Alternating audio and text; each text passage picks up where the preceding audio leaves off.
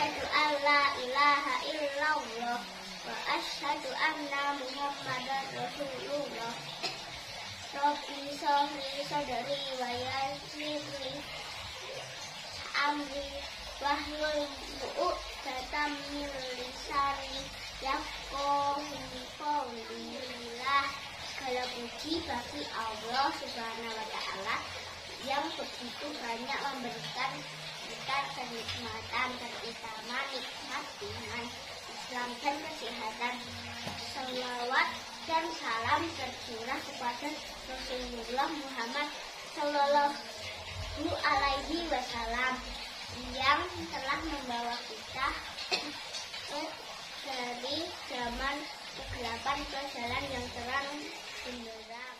Yang terhormat Ustaz, Ustaz dan Ustazah dan hadirin yang dirahmati Allah. Pada kesempatan ini saya Fitri Asma Prasetya kelas 3 Excellent akan berceramah dengan tema sholat lima waktu. Sholat tentunya wajib bagi setiap orang Islam yang telah memenuhi syarat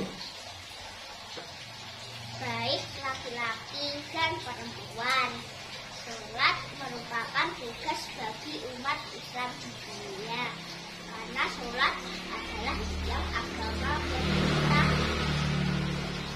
Allah.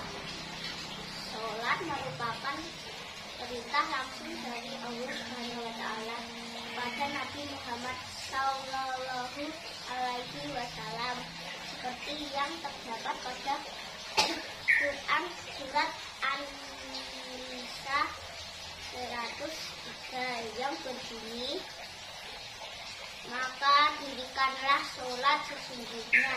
Yang sholat adalah kewajiban yang ditentukan waktunya atas orang-orang yang beriman.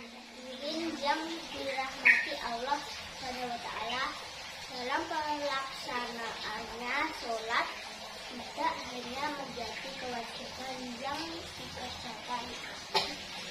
Lebih dari itu sholat merupakan bukti iman seseorang kepada Allah. Dalam sehari kita melaksanakan sholat lima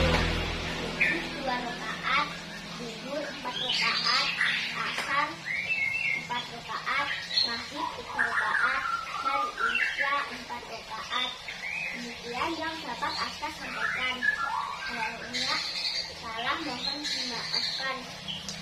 Sholat itu